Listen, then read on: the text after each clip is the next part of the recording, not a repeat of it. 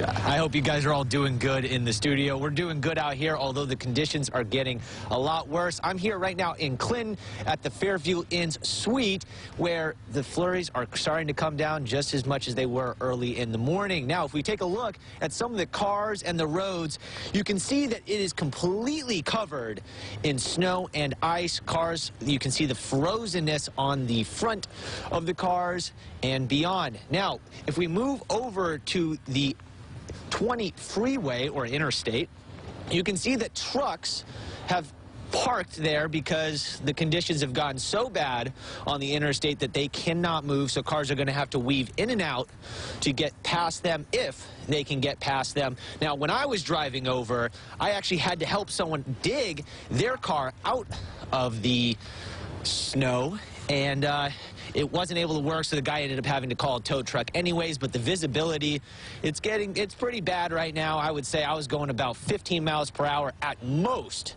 on the city streets, but I would still say do not drive right now. It is too dangerous to do so, although we're doing this for you guys at home. But for now, live in Clint, back to you guys.